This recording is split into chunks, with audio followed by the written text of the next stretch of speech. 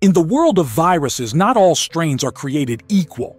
The Mpox virus, once confined to remote African regions, has evolved into two distinct clades, each with its own unique characteristics, risks, and global implications. But what makes these strains different? And why should we care? Let's break it down. Mpox, formerly known as monkeypox, has two main clades, or strains. The Central African, Congo Basin, clade, and the West African clade. These aren't just names.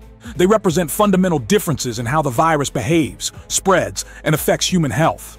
And as the world continues to grapple with the 2022 outbreak, understanding these clades is more important than ever.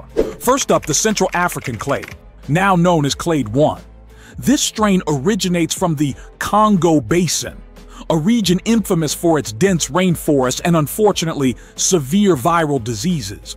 Clade I is the more aggressive of the two, with a fatality rate of up to 10%.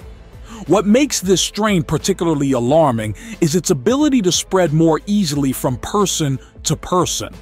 In past outbreaks, Clade 1 has been responsible for larger, more sustained outbreaks within communities. The symptoms? Expect more severe and widespread skin lesions and a higher likelihood of complications. On the other hand, we have the West African clade, now referred to as Clade 2.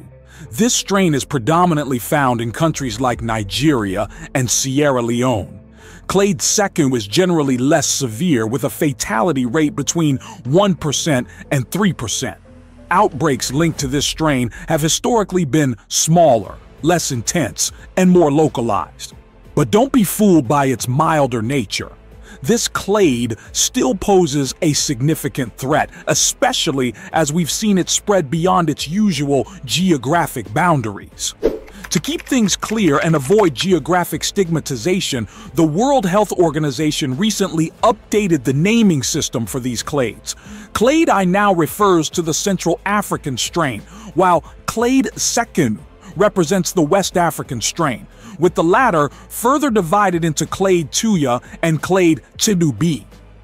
The recent 2022 global outbreak has been largely driven by Clade IIb, a subclade that has shown an unexpected ability to spread far beyond Africa, reaching Europe, the Americas, and other regions.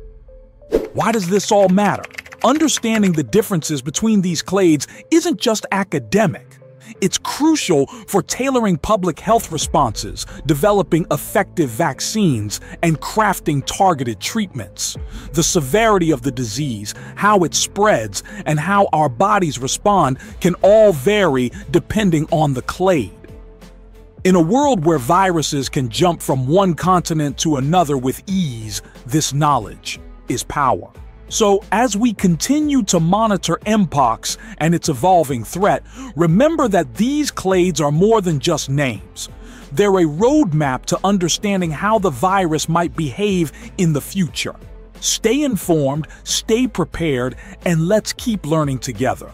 If you found this breakdown helpful, make sure to like, share, and subscribe for more in-depth explorations into the world of viral outbreaks and public health. And if you have any questions or topics you'd like us to cover, drop them in the comments below.